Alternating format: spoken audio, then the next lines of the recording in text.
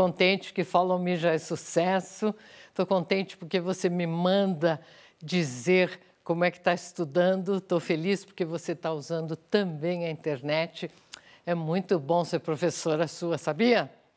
E hoje nós já vamos para a aula 47. Ó, oh, coisa boa! Lesson 47. Lesson 47.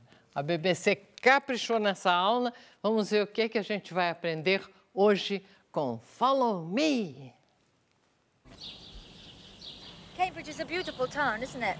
Yes, and it's a nice size, too. So how many people live here? I'm not sure, but no more than a 100,000.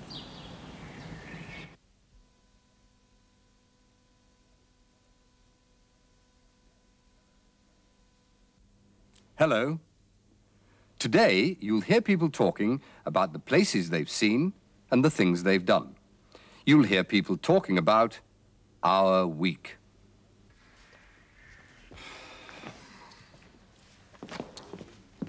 Where is Bates? Look at the time. What are you going to do? I don't know. Are you Rupert Brown? Yes? I've got a message for you from Mr. Bates. He's had an accident. Oh, no, the It's program... going to start now. What is it? Our week? I could do that. You? All right. Sit there. Quick. Okay. But No, no, no, no, no, no.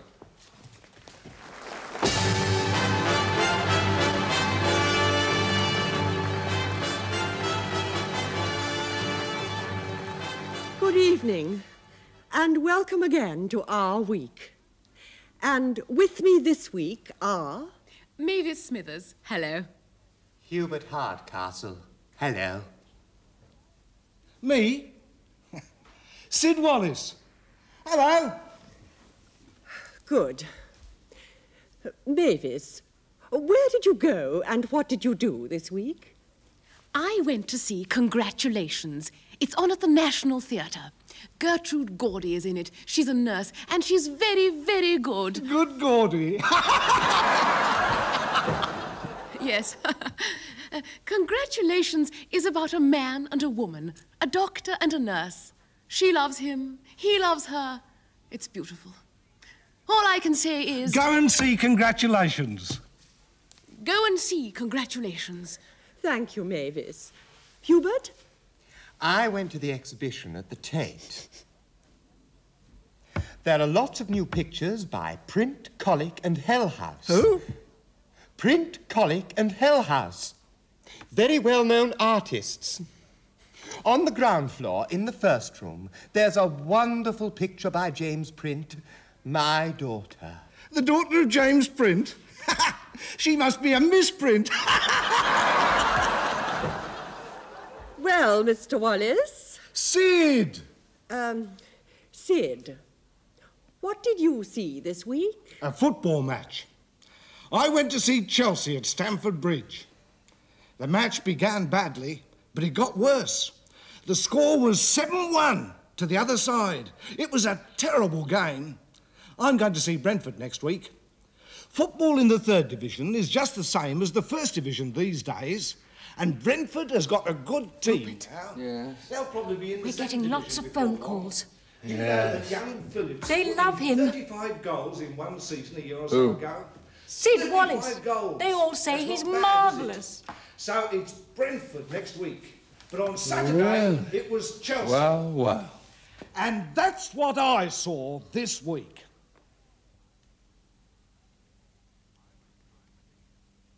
I went to the exhibition at the Tate.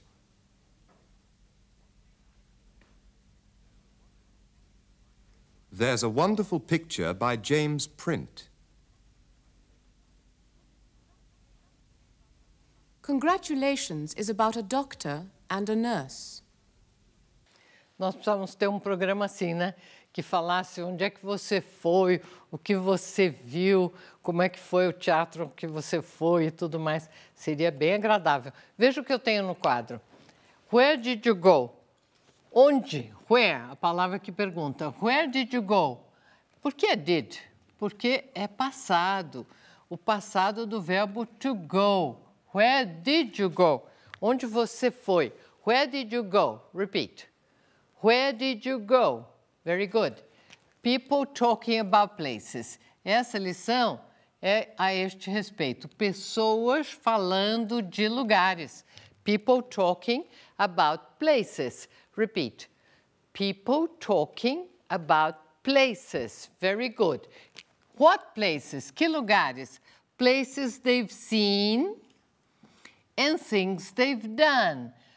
People talking about places they've seen. Pessoas falando de lugares que viram.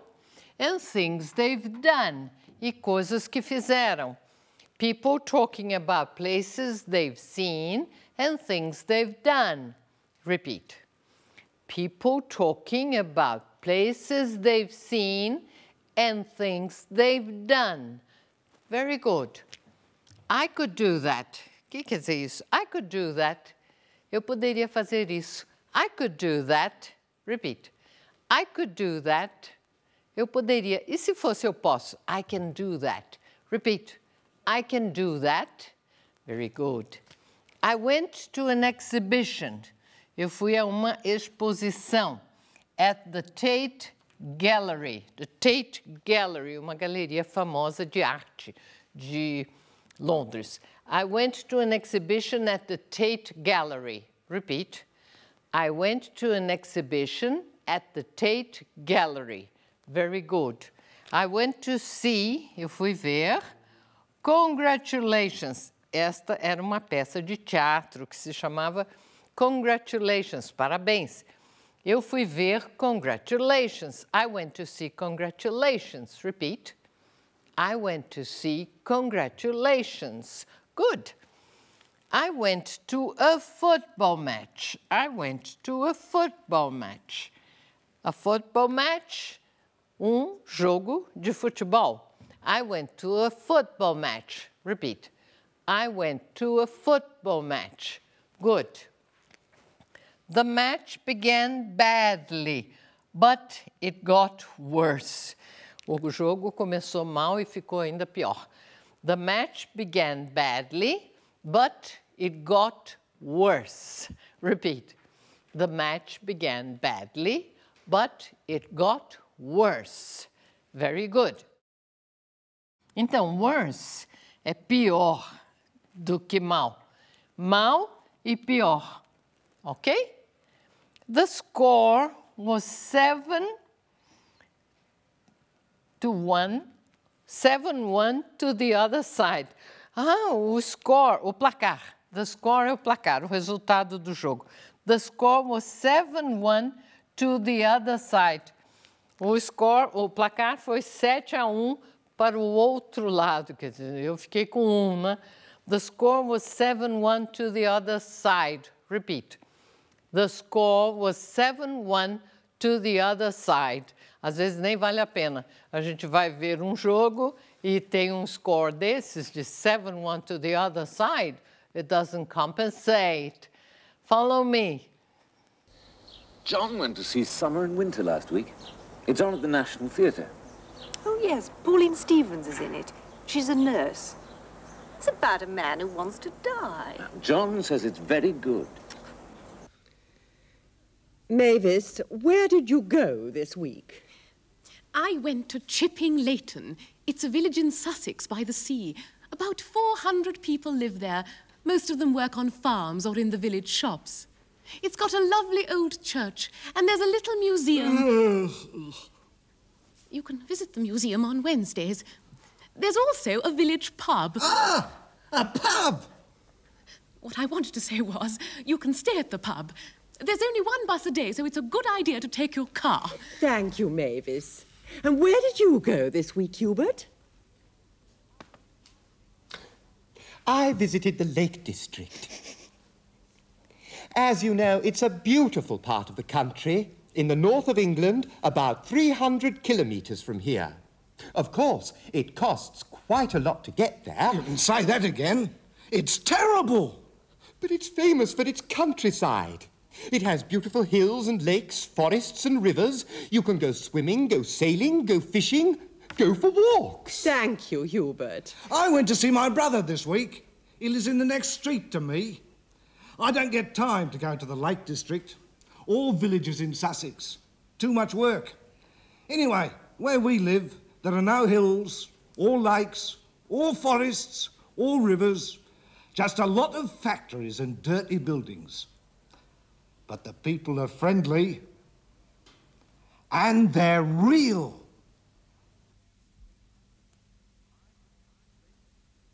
I visited the Lake District.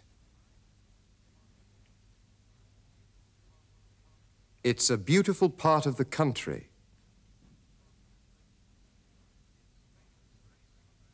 It's famous for its countryside. I visited the Lake City. Eu visitei a cidade do lago. I visited the Lake City. Vamos ver as frases que eu tenho e estão no quadro para você repetir. Veja lá. John went to see summer and winter. John went to see summer and winter. É provavelmente ou o nome de uma peça de teatro, ou um show, um espetáculo, ou até um filme. Summer, verão, winter, inverno. John went to see summer and winter. Repeat. John went to see summer and winter. Very good. It's on the National Theatre. Está no teatro, então é uma peça ou um show. It's on. O que quer dizer it's on? É onde está passando, tá? It's on the National Theatre. It's on the National Theatre. Repeat. It's on the National Theatre. Very good. Aqui você viu a village by the sea. Village é uma cidade pequena, uma aldeia, um lugar menor. Not a town and not a city. A village é menorzinho. A village by the sea. By the sea? A beira-mar. Nice. Lovely. A village by the sea. Repeat. A village by the sea. Very good. About 400 people live there. About, mais ou menos, cerca de. About 400 people. Mais ou menos 400 pessoas moram lá. About 400 people live there. Repeat. About 400 people live there. A pronúncia do live, veja aqui, está escrita a palavrinha aqui. L-I-V-E. Live. Não é live, que isso é outra palavra. Vou escrever live é partir, deixar, sair. A pronúncia é com i forte. Live, morar. Está aqui. Live. About 400 people live there. Repeat. About 400 people live there. Very good. Continuando. It's got a lovely old church. Ah, tem uma bela velha igreja. And a little museum. E um pequeno museu. It's got a lovely old church and a little museum. It's got a lovely old church and the little museum. Repeat. It's got a lovely old church and a little museum. Very good. And there's a pub. Ah, onde é na Inglaterra que não tem a pub? Isso tem lá em todos os lugares. And there's a pub. Repeat. And there's a pub. The people are real. Ele disse lá que ele foi um lugar pequeno, era uma vilazinha com uma igrejinha e um museuzinho, mas que as pessoas eram reais, eram sinceras, eram verdadeiras. The people are real. Repeat. The people are real. É neste momento que nós vamos assistir mais um trechinho do Follow Me.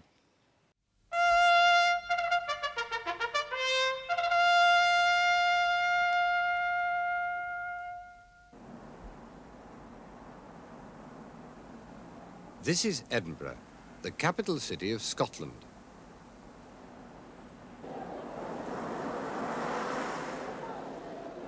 This is an important day for the city of Edinburgh. Lots of people are waiting in the streets for a very special visitor.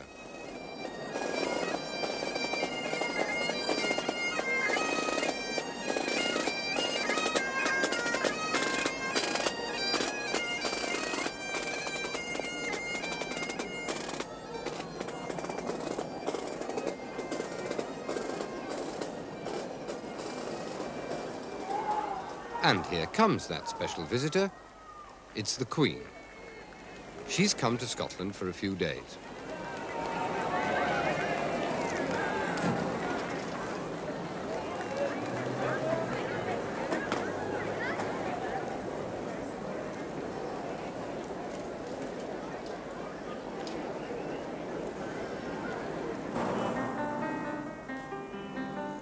Let's take a look at some of the things that everyone can see in the Royal City of Scotland.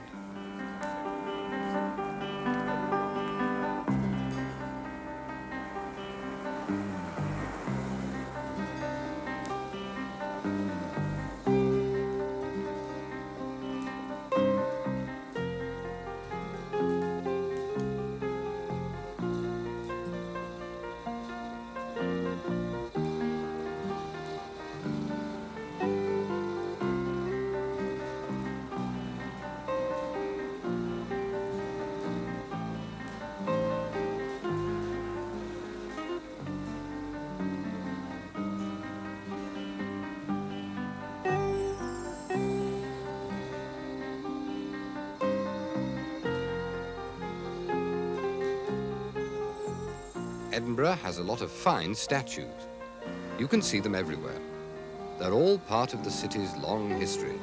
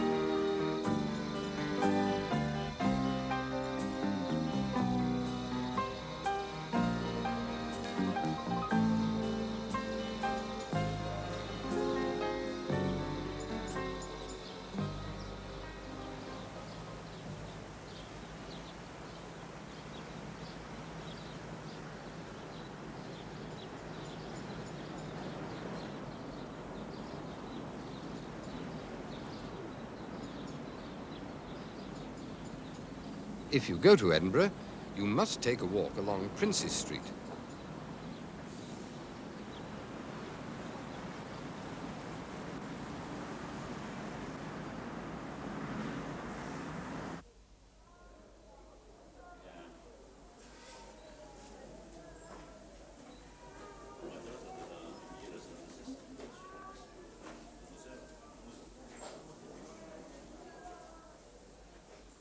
The shops are interesting. Most people like to buy some tartan cloth when they're here. Some may also want to have a kilt made.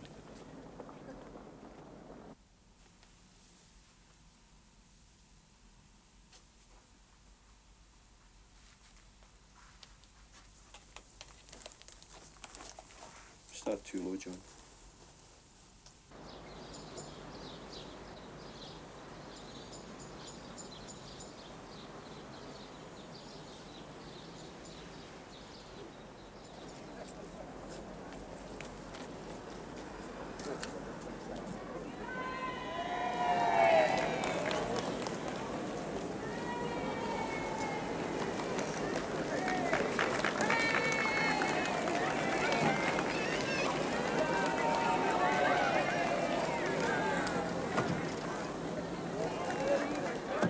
Kings and queens have been coming to Edinburgh for hundreds of years.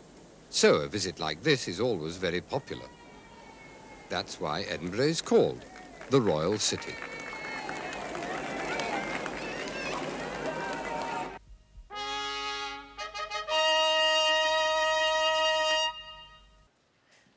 Lá vai rainha com toda a pompa e circunstância. Você notou? Edinburgh é a cidade capital da Escócia. A pronúncia, você notou? Edinburgh. Edinburgh. Vamos ver. Eu tenho no quadro. This is Edinburgh, the capital of Scotland. This is Ed Edinburgh, the capital of Scotland. Repeat. This is Edinburgh, the capital of Scotland. Very good. The Queen has come for a few days. The Queen, a rainha, has come. A rainha veio. The Queen has come for a few days. Para passar uns dias. The Queen has come for a few days. Repeat. The Queen has come for a few days. Good. Let's look at the things you can see in the royal city. Let's look. Um convite aqui. Let's look. Vamos olhar at the things you can see. Vamos olhar as coisas que você pode ver na cidade real, in the royal city. Come on, repeat. Let's look at the things you can see in the royal city. Come on. Let's look at the things you can see in the royal city. Very good. There are a lot of statues. Há muitas estátuas, statues. There are a lot of statues. Repeat. There are a lot of statues.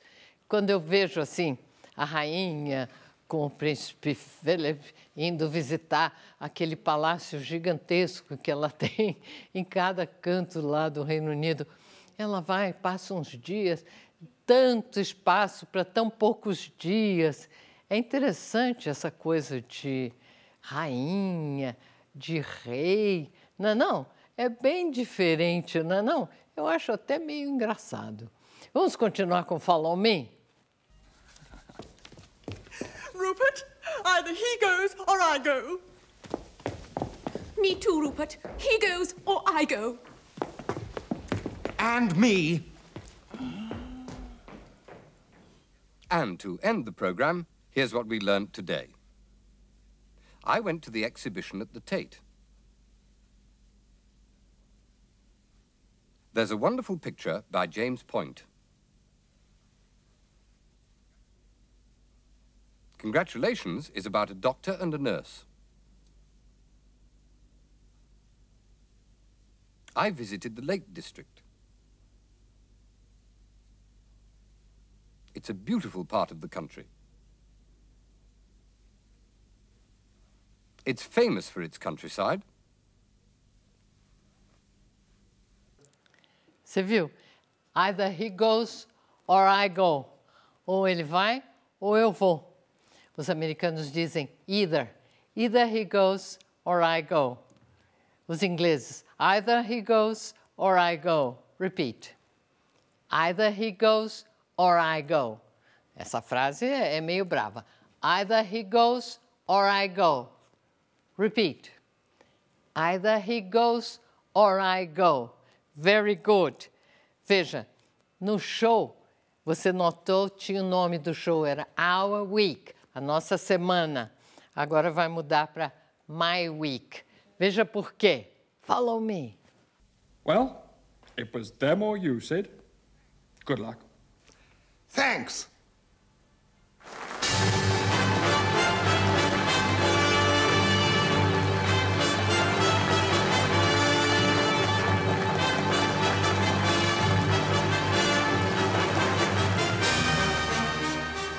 Hello, everyone.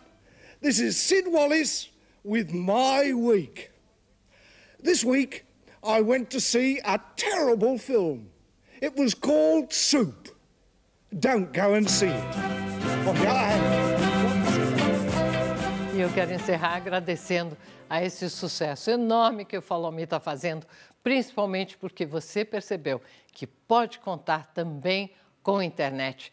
Internet, convenhamos, é uma ferramenta maravilhosa. No meu tempo não tinha, mas agora você aprende inglês com uma facilidade incrível. Thank you so much for being here, and I hope you'll be here again next time. Bye.